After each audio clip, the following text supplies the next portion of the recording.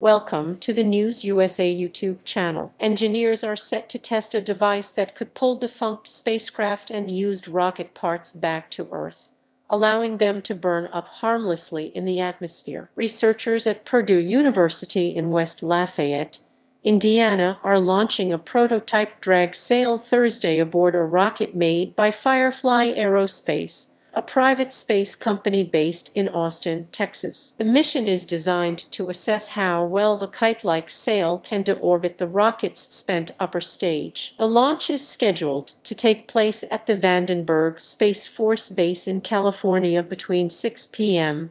and 10 p.m. PT. Drag sails are one of several technologies that have been proposed to address the growing amount of junk in orbit around the planet. Low Earth orbit has become increasingly crowded with debris, rocket parts, and satellite systems for telecommunications, GPS, and other functions, greatly increasing the risk of on-orbit collisions. Anthony Cofer, David Spencer, and Arly Black stand with Spinnaker 3 a drag sail prototype, Erin Easterling slash Purdue University using a drag sail to speed up the deorbiting process for used rocket parts or malfunctioning spacecraft could help keep low Earth orbit a sustainable place, said David Spencer, an associate professor of aeronautics and astronautics at Purdue University who led development of the drag sail. It's much more efficient to launch something with a built-in capability to deorbit,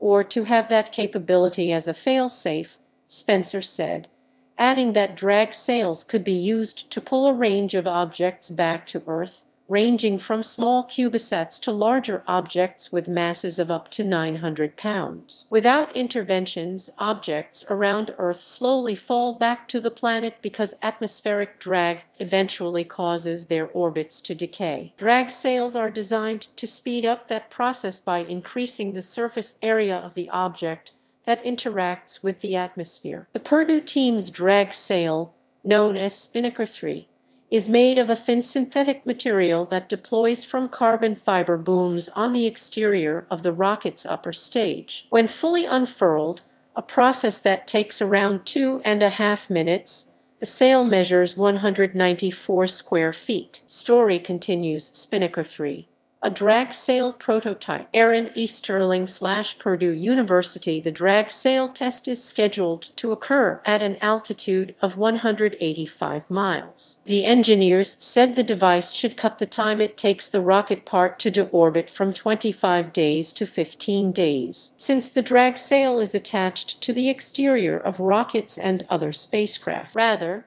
the device is designed to reduce the amount of debris that could be created by future launches. If successful, Spencer said, he is hoping to commercialize the technology for both government agencies and commercial space companies. Right now, it's a proof of concept, he said, but there's significant interest out there for this capability. Subscribe to the channel, like and share this video,